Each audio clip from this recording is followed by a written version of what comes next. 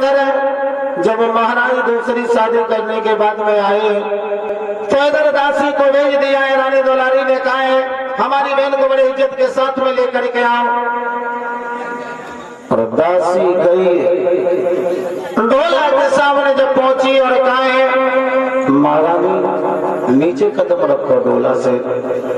आपका बड़ी रानी इंतज़ार कर रही है। जो ये वचन सुने, माया मायापति कहने लगी, ये बताओ, हमारे यहाँ आने से पहले क्या बड़ी रानी है इसमें लो लो तो दासी कहने लगी, ये बताओ, हम पे क्यों आप नाराज़ हो रही हो? बोली, तुझे जब भेजा, तुझे खुद मालूम होगा। बोले, हम पे ना लाल पीरिया क्या करो, ठीक है? मुझे भेजा है, मैं आ गई हूँ। तो आज जो मायापति कहने लगी है, सुना। आप अगर महाराज को हमारे पहले बुलाओ, उसके बाद हम आपसे बात करेंगे।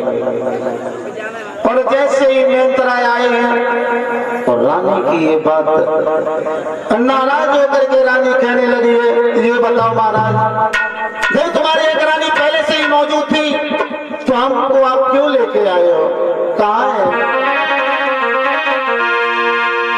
कि जब तुम्हारे नाम